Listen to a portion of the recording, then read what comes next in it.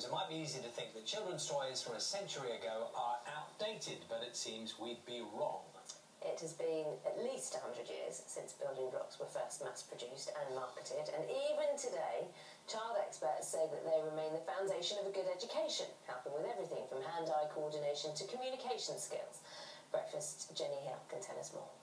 Would you like this one, Gracie? Give this girl a building block, you'll end up with a fairy castle. I've got so many blocks on, and this is the castle, and I've, I've done amazing things for it.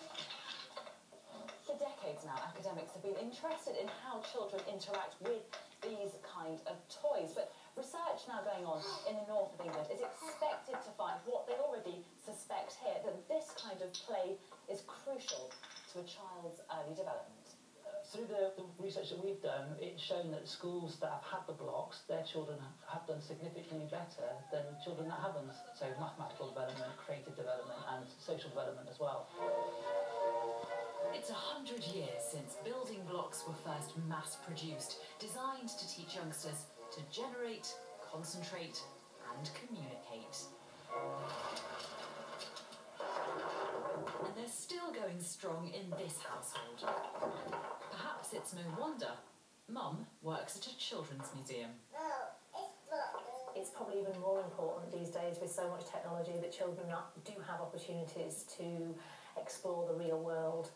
And while sort of, you know, the, the IT has its place, um, you can't replace the importance of having that real connection in terms of um, developing so many skills that will um, prepare you for life.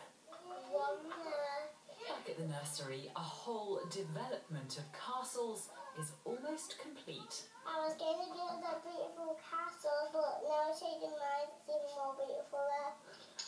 Experts believe play like this will improve children's spatial and social awareness and even boost language and motor skills. Of course, for Gracie and her friends, there's only really one outcome that matters. Jenny Hill, BBC News, Ellesmere Port. Just before nine o'clock, we're going to speak to an early years expert.